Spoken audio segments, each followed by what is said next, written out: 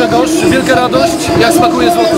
No na pewno. Był tam tak naprawdę i to złoto smakuje ze szczególną satysfakcją. Bardzo się cieszę, że się skończyło jak się skończyło. Bo początek nie był dla mnie najlepszy, ale potem wszystko zaczęło się układać po mojej myśli. Wiadomo, że dobrze momenty przekłada gorszymi, ale ostatecznie skończyło się pod medalem i to jest najważniejsze i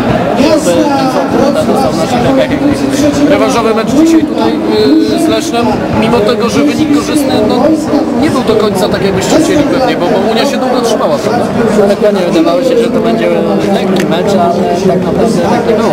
I e, praktycznie końca zmagaliśmy się z ścianami, bo zarówno Jarek, jak i Bali dzisiaj dobrze się czuli na naszym torze i trzeba było uważać, kontrolować sytuację, ale udało się, medal trafił w nasze ręce, lepszej końcówki nie mogliśmy sobie wymarzyć i e, no więcej takich sezonów by się chciało. A duże spięcie było, bo trzy taśmy, wydawało się, że no, stres jest przeolbrzymi w waszej drużynie. To jest finał. W tamtym roku ja jechałem w taśmę, no to wtedy emocje nie było i e, no, trzeba uważać, trzeba się kontrolować emocje, e, odłożyć na bok i skupić się, skoncentrować na tym, żeby ten serwek dać, wjechać.